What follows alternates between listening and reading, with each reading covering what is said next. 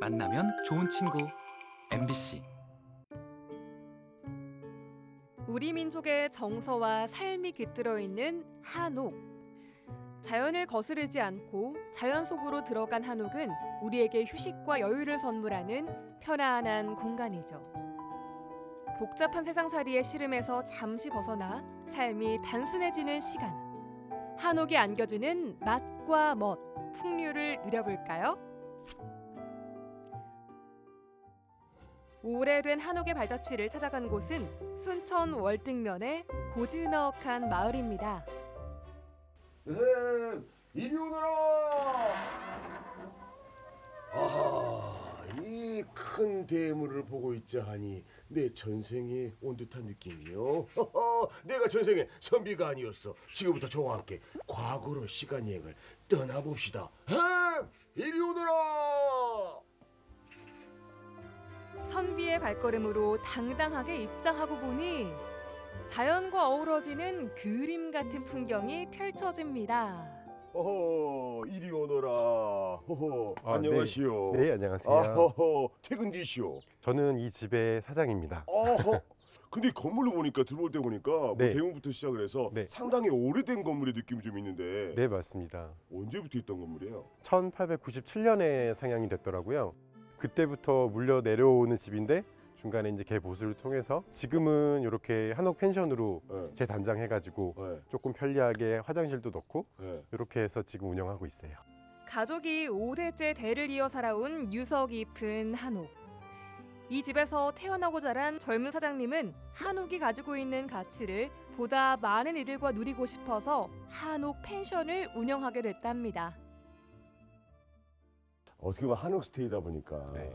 말씀하신 대로 뭐 신경 쓴 부분들이 한두 가지가 아닐 것 같은데 네. 예, 가장 신경 쓴 부분이 있다면 이쪽을 예쁘게 꾸며도 손님들이 좋아하실 것 같다는 생각이 들어서 음. 최대한으로 고택을 상하게 하지 않으면서 그 나머지는 그대로 살려서 이제 벽지만 새로 바꾸고 그냥 편리할 수 있는 거는 주무시기 편하게 침대도 넣고 아. 이렇게 해서 어, 만들게 됐어요. 사랑채는 차실로 꾸며졌는데요. 긴 시간을 품은 한옥의 감성에 연잎차의 그윽한 향기가 더해지니 더할 나위 없이 편안한 순간이네요. 차 한 잔의 여유와 함께 자연과 어우러지는 풍경을 바라보면서 느리게 흘러가는 시간을 즐겨봅니다. 뭔가 마음의 여유가 필요할 때 힐링이 필요할 때는 이런 곳에 와줘야 됩니다. 아, 옛 것이 진짜 좋죠, 그죠? 아, 근데 차한 잔으로는 만족이 안 될 것 같은데요. 어디서 맛있는 냄새가 나는데 그래, 어디서 배도 고파오고 뭔 냄새지? 한옥에서 온 어떤 밥상을 받게 될지 궁금하시죠? 음식에 진심을 담는다는 어머니가 맛있는 음식을 준비 중이시네요. 안녕하세요. 네, 안녕하세요. 아니, 반갑습니다. 가만히 앉아 있는데 맛있는 냄새가 나가지고 어. 오 여기서 맛있는 걸 먹을 수 있나 본데 여기서 어떤 거 먹을 수 있어요? 지금 연밥을 찍고 있거든요. 아. 연 향기 함께 이렇게 오곡밥이 들어있어서 맛있는 냄새가 날 거예요. 연잎밥. 네, 천연 식재료라 네. 특별한 맛을 안 내도 간만 맞추면 될 거예요. 자연 재료에 정성을 가득 넣은 건강한 밥상. 어머니의 손맛이 담긴 맛있는 한 상이 차려졌습니다. 아, 이건 뭐 한옥에서 이렇게 먹을 수 있다는 것 자체가 일단 행복이에요. 예. 와, 지금 반찬부터 시작을 해서 밥까지 어느 하나 예, 자연이 아닌 곳이 없다. 아, 자연의 밥상입니다. 자연의 밥상. 야, 이거 연잎밥 보세요. 오, 오, 향 좋아. 연잎향을 고스란히 머금은 연잎밥을 갖가지 나물과 고기 반찬까지 한옥에서 누리는 푸짐한 밥상. 부럽네요. 행복해. 맛도 이 공간이 주는 매력이 분명히 있습니다. 한옥에서 연잎밥과 함께 이런 자연의 식재료와 함께 먹고 있으니까 우리 장금이가 저에게 밥상을 내온 듯한 그런 느낌이에요. 인근이 수라상이 별겁니까? 건강하게 맛있게 먹으면 그것이 수라상이지요. 이번엔 또 어떤 한옥의 정취가 우리를 설레게 할까요? 아 여긴 건데 야 이거 문화의 거리에도 시간을 거슬러 갈 수 있는 한옥이 있다 해서 찾아봤는데 이거 맞는 것 같습니다 조심스럽게 한번 들어가 볼게요 순천 문화의 거리에서 고요한 시간을 보낼 수 있는 한옥 카페. 감성 돋는 인테리어가 눈을 사로잡는데요. 이 한국관광공사에서 인증한 관광도래로 네. 주민사업체식으로 네. 협동조합으로 운영하고 있습니다. 다양한 것을 주민들과 함께 화합을 해서 예, 이 예. 한옥에서 예, 함께 예. 이루어진다는 겁니다 예. 이곳 한옥에 도 특징이 있습니까? 보통 한옥이 5칸인데 네. 보시다시피 여기는 6칸, 6칸으로 되어 있고요. 네. 80년 정도 된 한옥입니다. 어, 역사가 상당히 좀 있는 한옥이네요 예, 예. 지금 일제 강점기를 지나서 네. 예, 하숙집으로 운영을 하다가 아 예, 저희들이 개조를 해서 지금 예, 사업체로 운영을 하고 있습니다. 와. 와, 도심에서 이토록 여유로운 풍경을 즐길 수 있다니 놀라운데요. 마음의 쉼표 하나를 찍어보는 감성 돋는 공간입니다. 한옥에 오면은 네. 왠지 모르게 뭔가 한옥을 좀 더 깊게 느끼고 싶다는 생각을 하지 않습니까? 예, 예. 이곳에서 좀 뭔가 좀 한잔 하면서 네. 뭔가 좀 거리가 어, 좀 느끼고 싶은데 뭐 있을까요? 예. 동의보감에서 나오는 전통 쌍화차를 음. 24시간 정성으로 달여서 판매를 하고 있습니다. 이야. 24시간을 끓여내면 거의 보약인데요. 순천의 특산품 매실이 들어간 매실 쌍화차랍니다. 노릇노릇하게 구워내는 가래떡도 빠지면 섭섭하겠죠? 한옥 감성을 고스란히 살린 한식 디저트 맛볼까요? 한옥의 고즈넉함을 그대로 이 디저트에 담은 것 같습니다. 야, 이 쌍화탕부터 시작을 해서 특산품인 매실. 오, 또 호떡 안에 또 매실이 들어갑니다. 야, 그리고 뭐 가래떡부터 시작해서 쌍화차까지 이곳에서 직접 만들어낸 거기 때문에 어, 이런 고즈넉한 그 한옥에서 이런 차 한 잔의 여유 너무 좋지 않습니까? 진한 쌍화차 한 잔에 몸속 깊이 따뜻해지는 기분 느껴보고 싶은데요. 매실 호떡은 또 어떤 맛일까? 와, 궁금하다 궁금해. 훨씬 더 쫄깃쫄깃한 느낌 있고 소화가 잘 될 것 같아. 어, 순천의 특산품을 이곳에서 만나볼 수 있다라는 게 음, 이거 엄청난 매력인데요. 음. 아 오늘 제가 어, 한국의 먹과 맛을 느낄 수 있는 시간을 가져봤습니다. 아름다운 한옥 안에서 음, 맛있는 음식도 맛보고 그리고 좋은 디저트도 맛보면서 한옥의 매력을 느껴봤는데 여러분도 한국인의 제대로 된 매력을 느끼고 싶다면 한옥에서 모든 걸 느껴보시면 어떨까요? 내가 왕이 된 느낌이요. 한국인의 정서를 담고 있는 한옥. 긴 시간을 품고 그곳에 살았던 사람들의 역사가 깃들어 있는 공간. 한국인이라면 누구나 한옥에 대한 향수와 애정을 갖고 있을 텐데요. 일상에 지치는 어느 날 한옥으로의 여행을 계획해 보세요. 포근한 봄날처럼 여러분의 마음에도 따스한 온기가 찾아들 겁니다.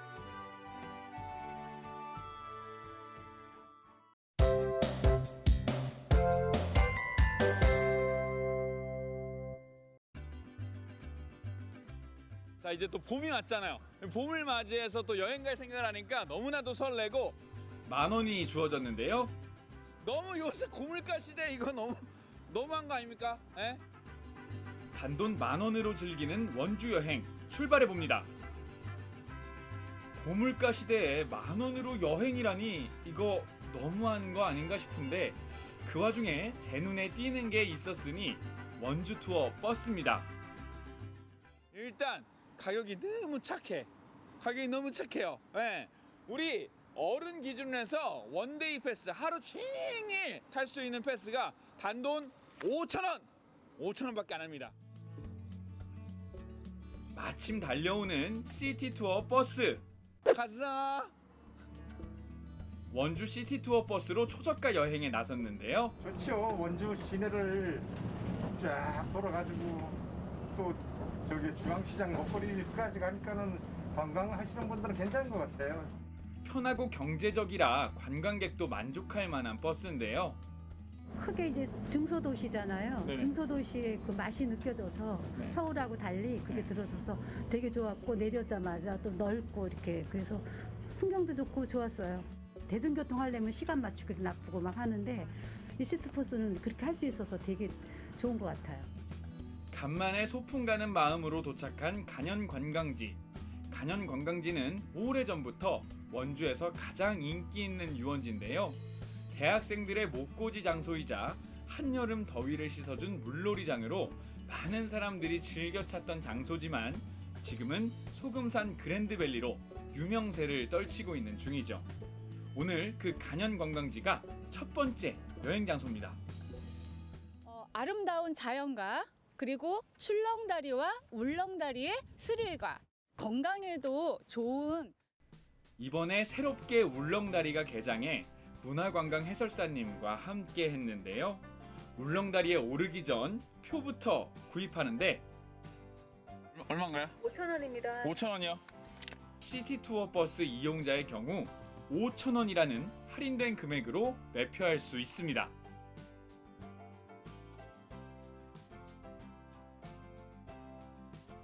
자, 아 이제 꽤 먼 길을 지금 걸어오고 있는데 이 또 소금산을 따라서 네. 이렇게 멋지게 길을 조성해놔서 풍경이 너무 예쁜데 네. 근데 지금 저 멀리로 네.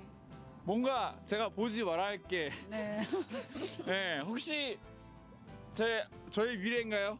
그렇죠. 앞으로 닥쳐올 운명인가요? 네. 운명의 장소 그곳은 바로 울렁다리 출렁다리도 멋있지만 이 네. 울렁다리는 그 규모가 와 맞습니다. 예, 우- 훨씬 더 크고 예. 네, 우리나라에서 가장 긴 다리라고 보시면 됩니다. 아 우리나라 이 산에 있는 다리 중에서 네, 가장 긴 다리 맞습니다. 야 그걸 제가 오늘 또 왔네요 네. 아, 자, 건너보시죠. 아 그럼요 저는 뭐 왜냐면 저는 두려움을 모르는 남자이기 때문에 그러세요. 건널 때 마음이 울렁거린다 해서 울렁다리 정말 울렁울렁 할 만큼 핫질합니다. 한번 내려다 보시죠. 네? 알았죠? 네. 제대로 보셔야죠. 얼마나 예쁜지.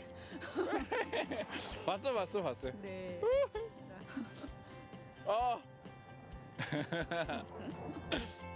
울렁거리는 마음 부여잡고 유리바닥 위를 걷는 아찔한 경험. 상남자 지영웅 이대로 물러설 순 없다. 눈을 뜨는 둥 마는 둥 건너가 보는데 어찌나 그 길이가 길게만 느껴지는지 1분 1초가 다이내믹한 순간 발밑으로 탁 트인 소금산 산세와 휘돌아 흐르는 강물이 펼쳐졌는데요. 그 규모와 길이에 한 번 놀라고 멋들어진 경치에 한 번 더 놀란 시간이었습니다. 다가오는 봄 기운이 물씬 마음까지 울렁이게 만든 울렁다리.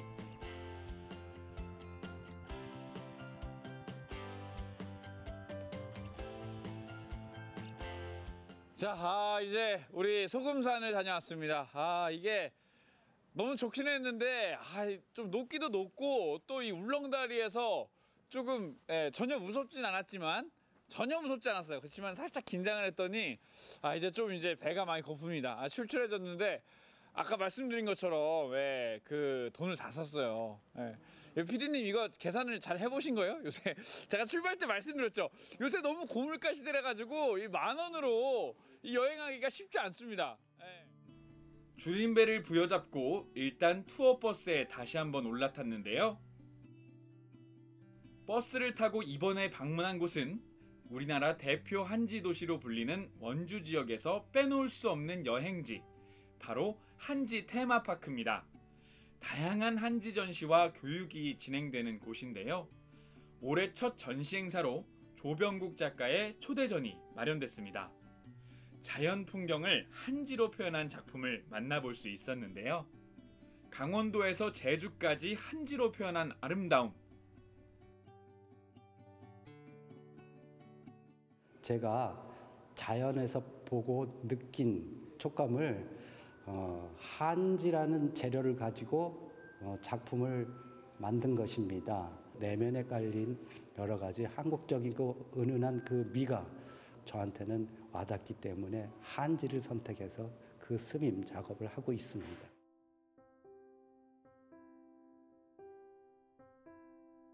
사실은 한지도 우리 종이가 다 나무로 만드는 거 아니겠습니까? 네, 네. 네, 이 조- 나무로 만든 한지로 네. 또 나무를 표현해내서 그런지 네. 진짜 살아있는 것만 같아요. 자연을 많이 바라보고 그걸 속에서 보게 되면 알게 되고 그때부터는 그것이 다르다는 것을 이렇게 찾게 되는 것입니다. 한지로 만든 작품의 아름다움을 통해 우리 한지의 우수함과 멋을 느낄 수 있는 귀중한 시간이었습니다. 참고로 원주 한지 테마파크 관람료는 무료. 자 오늘 하루 원주 초저가 여행 만 원의 행복에 한번 도전을 해봤는데요. 과연 그 결과는 성공. 아 약간은 찜찜한 성공. 자 울릉다리 사행시요. 아 갑자기 사행시 이거 쉽지 않은데. 울음소리 물개 울음소리가 어떤지 아세요? 렁 엉엉 엉엉 자, 다시 한번 듣고 싶으시고 다시 한번 듣고 싶으시다고요? 리. 리플레이 엉엉 엉엉 우렁찬 물개 울음소리까지 흉내내 어렵게 얻어낸 찬스 원주 여행의 소금산 명물 출렁다리빵을 빼놓을 수 없겠죠? 따끈따끈 원주 쌀로 만든 출렁다리 빵 냄새에 군침이 절로 넘어갑니다. 한 입 먹자마자 느껴지는 원주 고구마 맛과 쭉 늘어나는 치즈까지 맛있어. 엄청 맛있어요. 일단은 제가 그 원주 city 투어 버스 하루 종일 타는데 5천 원 거기다가 또 할인 받아가지고 우리 어, 간현 관광지 돌아다니는데 입장료 5천 원 해서 만 원은 딱 채웠는데 아 제가 또 이 맛있는 원주 토토미 빵을 먹느라고 예 근데 그건 어쨌든 간에 저의 이 번뜩이는 사행시로 찬스를 써서 했으니까 성공으로 예 그냥 치는 걸로 city 투어 버스로 떠나는 원주 초저가 여행 고물가 시대를 느낄 수 있는 시간이었는데요. 여러분들도 단돈 만 원으로 즐기는 원주 여행 한번 도전해 보시면 어떨까요?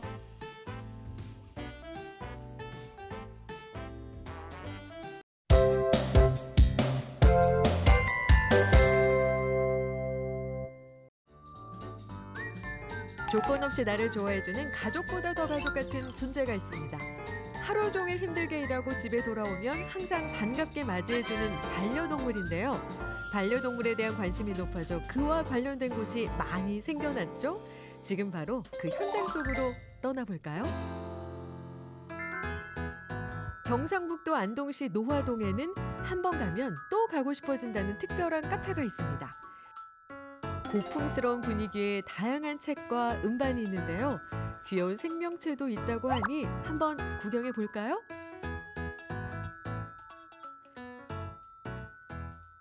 안녕하세요. 여기 귀여운 애들이 있다 해서 왔는데요. 네, 안녕하세요. 고양이 북카페에 오신 걸 환영합니다.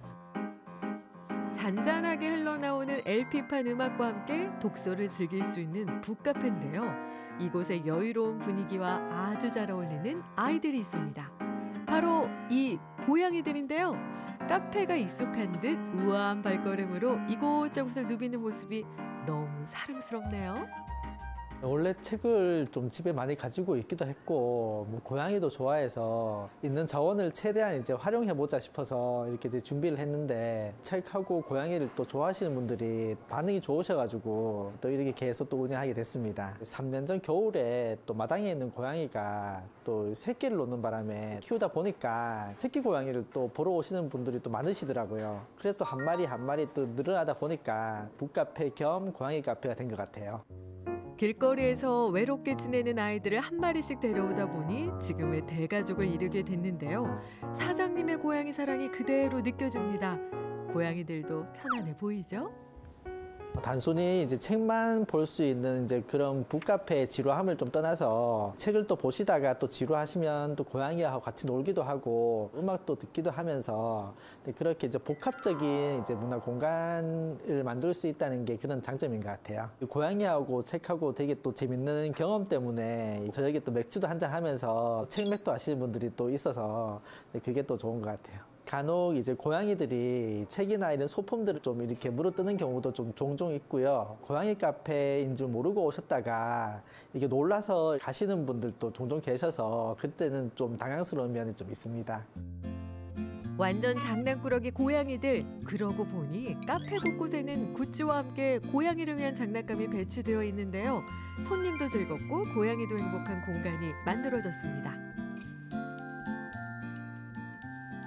다른 북카페는 책 종류가 엄청 다양하진 않은데 여기는 뭐 문학부터 비문학 이런 것도 되게 굉장히 좀 폭넓게 많이 있고 또 고양이도 다른 데보다는 종류도 많고 좀 몇 번 오다 보니까 또 약간 친해져가지고 네, 약간 친밀감 때문에 자주 오게 되는 것 같아요. 혼자 와도 이게 조용히 책 읽을 수도 있고 고양이들도 이렇게 왔다 갔다 하면서 조용히 왔다 갔다 하면서 한 번씩 와가지고 애교도 한 번씩 부리거든요. 그래서 너무 좋아요. 어떻게 하면 반려묘들과 손님들이 더 편안하게 쉴 수 있을까? 사장님은 항상 고민입니다. 낯을 가리지 않고 장난치며 노는 모습을 보니 사장님의 노력이 헛되지 않은 듯합니다. 간혹 고양이를 이제 장난감처럼 이제 대하시는 친구들이 좀 있어서 좀 고양이를 좀 아껴 주셨으면 좋겠습니다. 네, 앞으로도 책과 고양이를 사랑하시는 분들이 많이 이용해 주셨으면 좋겠어요. 다음은 경상북도 안동시 송현동에 자리 잡은 소중한 공간인데요. 이곳은 소형견을 위한 장소입니다. 단순 애견 카페가 아닌 미용부터 돌봄, 유치원까지 모든 게 가능하다고 하는데요. 한번 구경해 볼까요? 안녕하세요. 어, 안녕하세요. 저희 카페 오신 거 환영합니다. 미용이면 미용, 카페면 카페. 하나에만 국한된 곳이 아닌데요. 애견 미용실부터 유치원, 호텔, 카페, 게다가 강아지 용품까지 눈으로 직접 보고 바로 구매할 수 있습니다. 강아지가 좋아서 미용 자격증을 따게 되었고 일을 하다 보니 반려견과 견주님들이 편안하게 방문하는 곳을 만들고 싶었습니다. 저희 매장의 장점은 실내가 넓고 야외 잔디마당이 준비되어 있어서 작은 아이들이 마음껏 뛰어놀 수 있는 게 가장 큰 장점입니다. 매장 곳곳엔 반려견을 사랑하는 사장님의 따뜻한 마음이 녹아 있는데요. 소형견들이 신이 나서 마음껏 뛰어노는 걸 보니 아이들도 만족스러운가 봅니다. 반려견뿐만 아니라 견주분들의 얼굴에도 웃음꽃이 활짝 피어 있네요. 키우는 강아지들이랑 비슷한 강아지들도 많고 놀기 엄청 좋은 것 같아요. 여기 넓고 깨끗하고 강아지들이 끼어, 뛰어놀기 너무 잘 돼 있는 것 같고요. 거의 주말마다 올 정도로 여기 엄청 편해요. 청결, 안전 등 예민한 부분을 세심하게 신경 쓰면서 운영하다 보니 단골 손님이 엄청 많이 생겼는데요. 아, 저도 놀러 가고 싶네요. 말티즈 키우시는 견주님이신데요. 따님과 함께 그 작은 아이를 데리고 그 가족과 함께 모두 행복한 모습으로 매주 오시는 그 모습이 저에게는 카페를 하면서 가장 기억에 남는 행복한 모습이었습니다. 강아지들끼리 이제 싸운다거나 그때가 가장 힘들었던 것 같아요. 강아지가 싸우게 되면 이제 다칠 수도 있으니까 그게 가장 힘들고 다른 건 힘든 게 별로 없어요. 행복한 사장님의 모습을 보니 저절로 미소가 지어지네요. 요즘 반려동물에 대한 인식이 많이 바뀌면서 많은 분들이 강아지를 키우고 계시는데요. 입양하실 때는 신중히 결정을 해, 해 주시고 입양 후에는 사랑과 정성으로 잘 보살펴 주셨으면 합니다. 동물을 아끼고 사랑하는 사람들이 안동에도 많이 있습니다. 반려동물과 사람이 함께 행복해지는 열정이 넘치는 이들. 가족보다 더 가족 같은 반려동물 끝까지 지켜주실 거죠?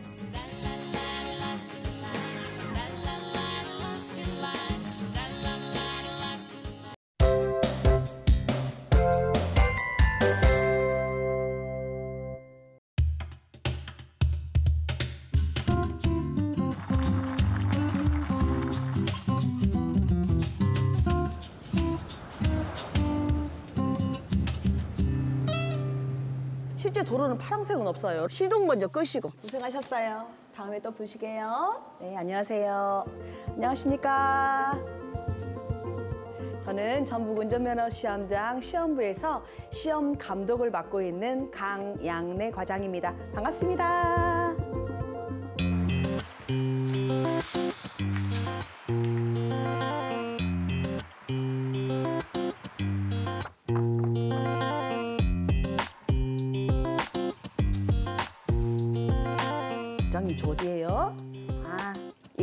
기능시험장이네요. 네, 저는 기능시험장으로 가겠습니다. 오늘 또 수고하시고요. 네. 시험 감독관은 아침에 와서요. 부장님이 시험관 추첨을 합니다. 하루에 두 번 추첨을 하는데요. 이제 어, 내가 어디 시험 감독관을 나가는지 그걸 확인하는 작업부터 시작하죠. 좋은 아침입니다. 안녕하세요.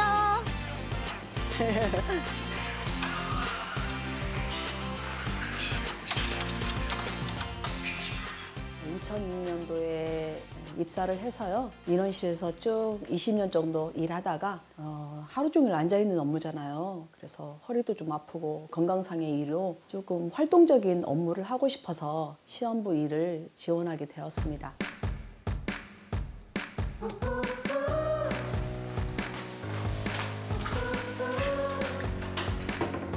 제대로 안 켜져 있는 것을 수동으로 면허증을 소지하기 위해서는 시험을 거쳐야 되잖아요. 그래서 학과 시험, 기능 시험, 도로 주행 시험을 거쳐야 되는데 저희가 그 업무를 예, 하고 있는 거죠. 합격, 불합격 판정을 내리고 면허증을 고객님한테 드리는 업무를 하고 있습니다.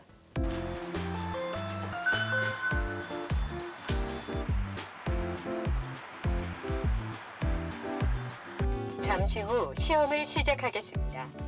시험은 지시에 따라 진행하며 지시와 다른 장치를 조작할 경우 감점될 수 있으니 유의하시기 바랍니다.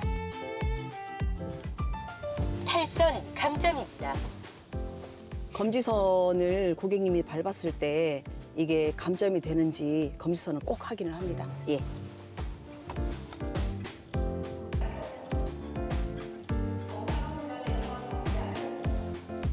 내 소요 시간 0000 초시간이 있어요. 한 번씩 보시기 바랍니다. 시간은 다 돼가는데 천천히 오시면 어때요?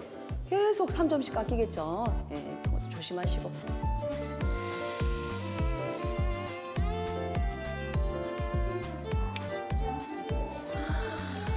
아우.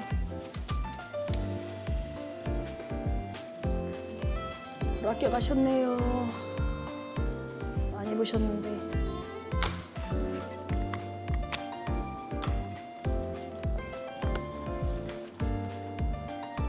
선생님. 가셔요. 예. 저 오른쪽 다섯 개 드는 게 낫죠? 잠깐만. 아. 설명하겠습니다. 핸드폰 무음 모드 하시고 끄시고 주머니에 넣으시기 바랍니다.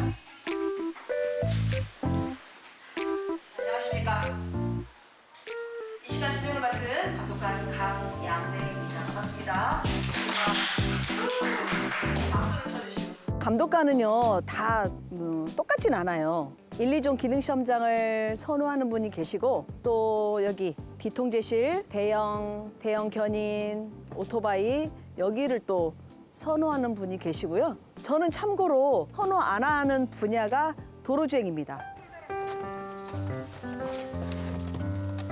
그거를 저희가 어, 어떻게 시험 보, 시험이에요, 고객님. 실격 내릴게요. 예. 일단 넣으시고 시동 먼저 끄시고 예, 사이드 올리시고 시동 끄시고 일단 예. 어, 어 스톱 스톱 스톱 스톱. 중앙선 침범이에요. 제가 말씀드렸다시피 전혀 연습을 안 하시고 오셔서 출발을 못해서 실격되었습니다. 자주 하는 말은 항상 안전 운전이 우선이라고 말해드리죠. 시험을 보려면 우선 기본적으로 연습을 좀 많이 해가지고 오셔야 되는데 연습을 전혀 안 하시고 오셔가지고 정말 위험한 상황이 많거든요. 그래서 고객님들에게 정말 연습을 좀 하- 하시고 그리고 안전하게 운전하셨으면 좋겠다는 말씀을 항상 드리죠.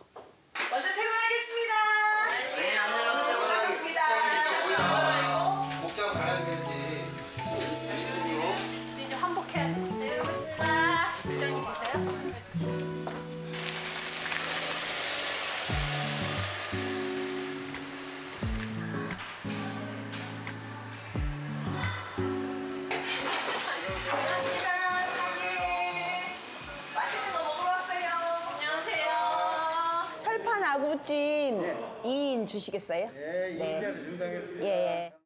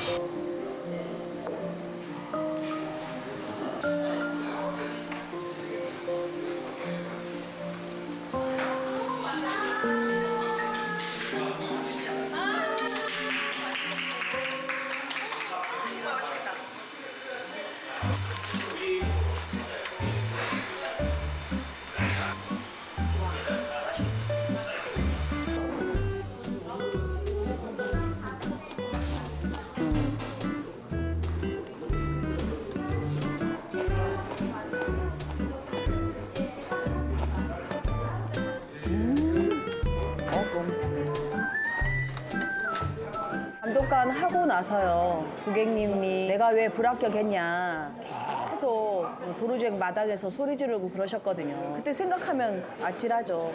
근데 집에 오는 길에 너무 속상했어요.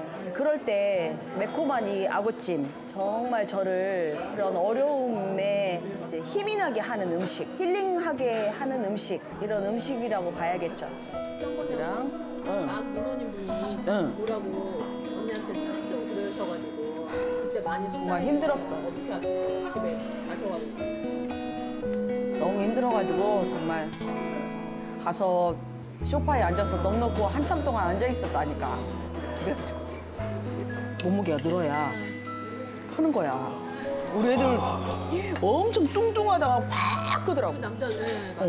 비타민, 하루의 비타민 같은 존재예요. 아침에 출근하면 양래 언니가 제일 먼저 저를 맞아주거든요. 아, 안녕. 반가워 하면은 정말 그날 하루는 좋은 일만 생길 것 같고 피곤했던 제 마음도 몸과 마음도 언니의 그런 목소리와 언니를 보면 막 제가 에너지가 생겨요. 그래서 그걸 업무에 쏟을 수도 있고 제 가족한테도 갈 수도 있고 언니는 정말 행복 바이러스 같아요.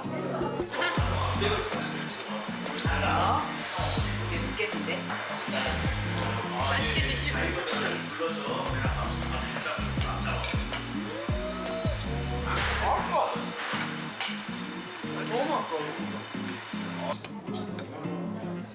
그 비법.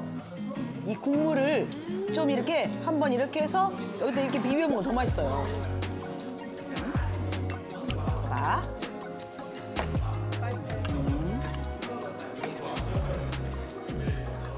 네, 오늘 모처럼 왔는데요. 제가 좋아하는 영미 씨랑 같이 먹게 됐는데 너무 후련하고 오늘 또 수고한 나에게 정말 힘이 되는 에너지를 준 것 같아서 너무 좋습니다. 전부분자면의 시험장 뿐이고 아구찜 뿐이고 잘 먹었습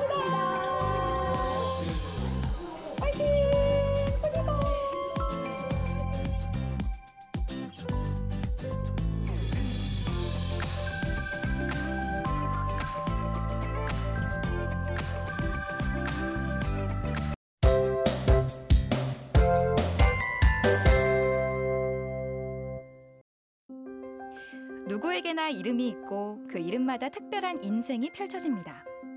평생을 함께 해온 이름에 소중한 의미를 담아주는 이름꽃 화가 박석신.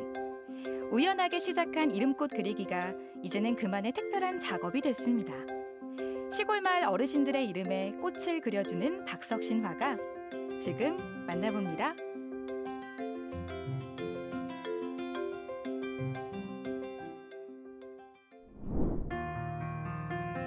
내가 그의 이름을 불러주기 전에는 그는 다만 하나의 몸짓에 지나지 않았다. 내가 그의 이름을 불러주었을 때 그는 나에게로 와서 꽃이 되었다.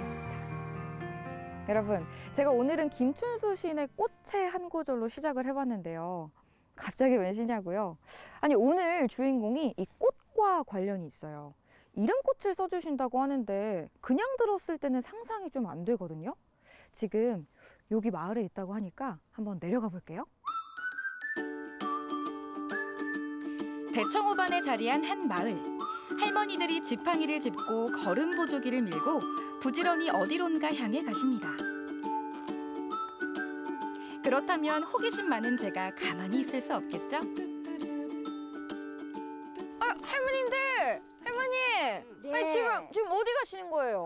회관에 가는데요. 네. 오셔서 그림도 그려주시고 좋은 말씀도 해주신다고 해서 지금 가는 길이에요. 회관에서 누가 그림을 그려준대요? 예. 아, 저도 그분 만나러 가는데 같이 가, 같이 갈까요, 할머니? 여기, 여기, 여기. 되지요. 아이고, 여기.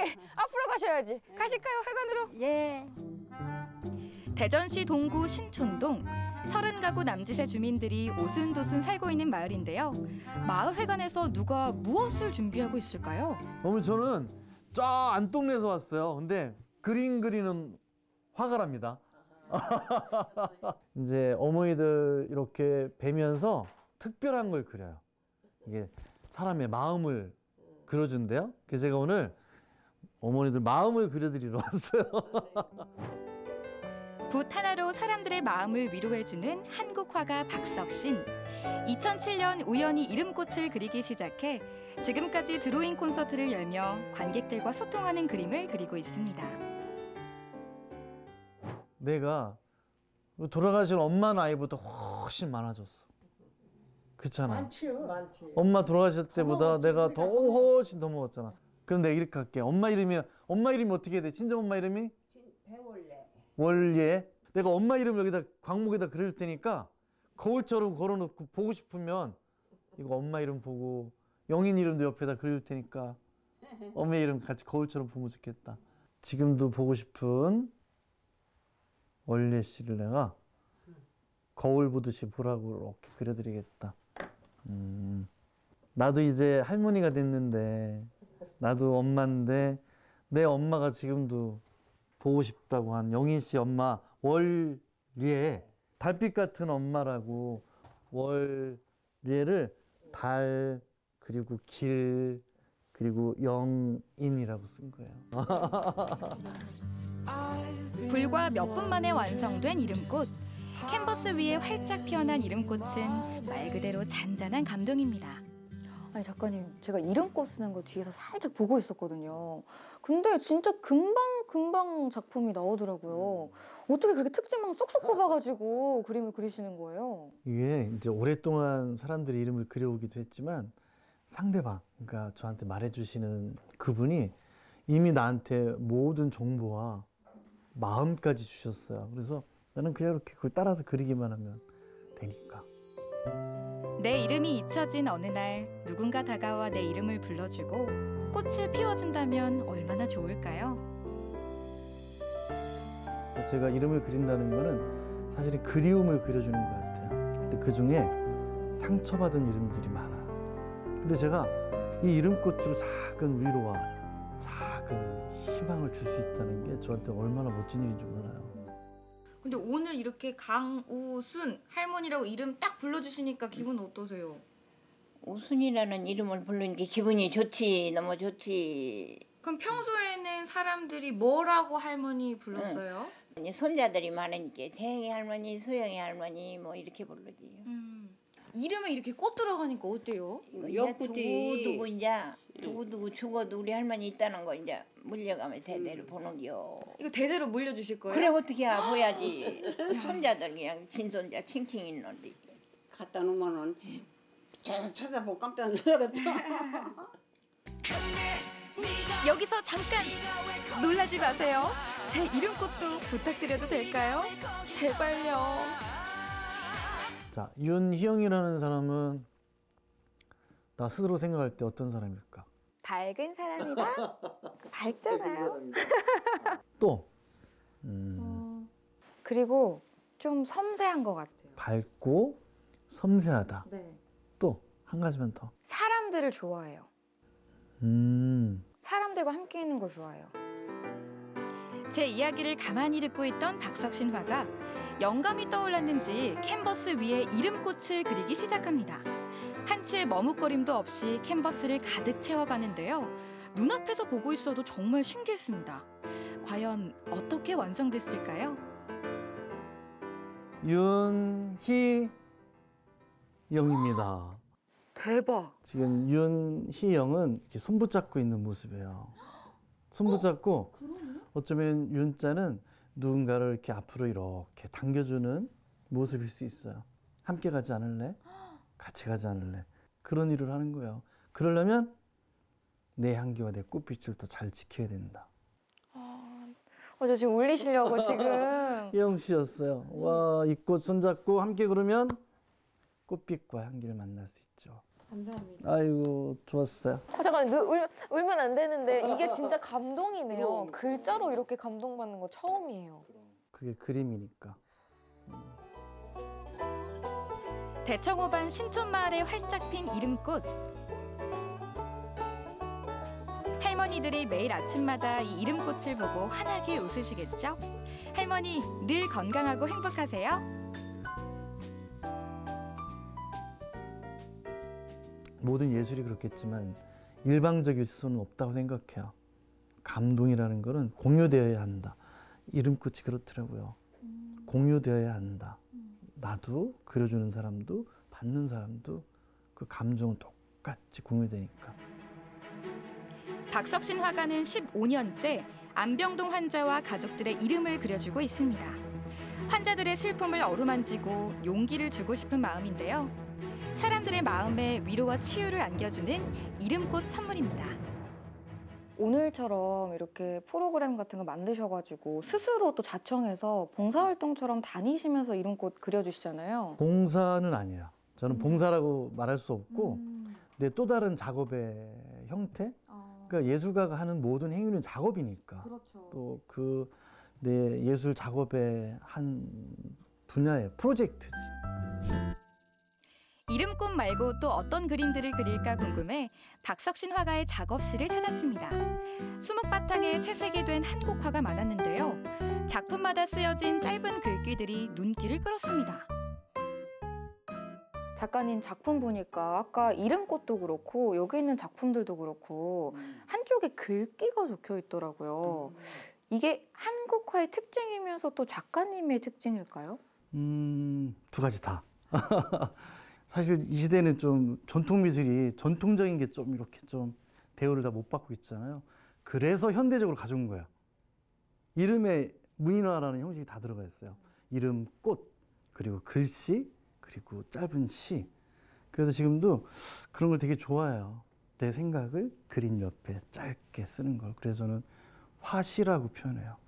화시. 한국화는 화선지에 그림을 그리고 다시 풀을 칠해 화판에 붙이는데요. 그런데 아이돌 가수들을 그린 듯한 인물화도 보입니다. 작가님 요새는 어떤 작업하고 계신 거예요? 요즘 요즘 요즘 풍경을 좀 많이 그리는 것 같아요. 풍경 스케치 여행도 많이 다니고 요즘 인물이잖아요. 저는 요 사람도 풍경이다. 음, 요새 그런 시리즈를 그리고 있답니다. 아이돌들 있잖아. 아니 아까 봤을 때 저도 아이돌인 것 같았어요. 누구를 그리신 거예요? 이거 제가 옛날에 좋아했던 SES. 요새 뭐 블랙핑크로 갈아탔지만 뭐 이게 다늘 새로우며 이 우리 대중 예술도 늘 새롭게 변하고 있잖아요. 예술의 기본은 그 같아요. 늘 변화되는 것들을 잘 담아내고. 요 붓 좀 잡아주세요. 아 요거요? 어 제가 이렇게 같이 참여를? 쳐주세요 한번. 쓱. 그렇죠. 너무 세게 할 필요는 없고. 음. 그렇지. 작업을 한다는 건 늘 여행을 하는 것과 같다고 말하는 박석신 화가 시간이 날 때마다 화구를 챙겨 다양한 스케치 여행을 떠나곤 하는데요. 화폭 위에는 여행지에서 보고 느낀 설렘이 고스란히 담겨 있습니다. 제가 갔다 온데 여기 혹시 어딘가 아실까요? 모르겠어요. 울릉도에 어 도동항이에요. 도동항. 도동항? 내가 너무 좋아하는 항구이기도 하고 근데 울릉도를 계절마다 다 가봤는데 너무 멋진 곳이에요. 여기 도동항 그다음에 이거는 안 갔다 온 사람도 알아. 어딜까요? 독도. 독도에 있는 선생님. 맞아요. 스케치를 그림으로 화면에 담아오는 것도 중요하지만 거기서 만났던 내 감정도 가져와야 되고 거기서 만났던 사람들도 가져와야 되고 거기서 만났던 마음도 가져와야 되고 물론 역, 뭐 여러 가지 역사도 가져와야 돼. 그래서 여행하는 것이다. 그래서 그림은 달리 말하면 여행이다. 작가님의 앞으로의 계획은 뭘까요? 계획? 어, 새로워지는 거. 늘 변하는 거. 어, 지금 대청호 근처에 살고 있거든요. 어, 저만의 미술관을 하나 만들고 싶어요. 지금 이- 이미 이렇게 터닫기 하고 이제 설계 막 음, 마무리하는 중인데 이름꽃 미술관이라고 이름을 짓고 싶어요. 누군가가 그려놓은 작품을 감상하러 하러 오는 게 아니고 누구든 오세요. 당신이 작품일 수 있으니까. 당신의 삶이 예술이다라는 의미를 이름꽃 미술관에 그 프로젝트로 담아보고 싶어요. 저마다의 소중한 이름에 한떨기 꽃을 피워주는 화가. 그 꽃으로 하여금 그간의 삶이 아름답다고 말해주는 화가. 박석신 화가의 이름꽃에는 한마디 말보다 귀한 위로와 치유가 스며 있습니다. 앞으로도 사랑스러운 이름꽃이 활짝 피어나길 바랍니다.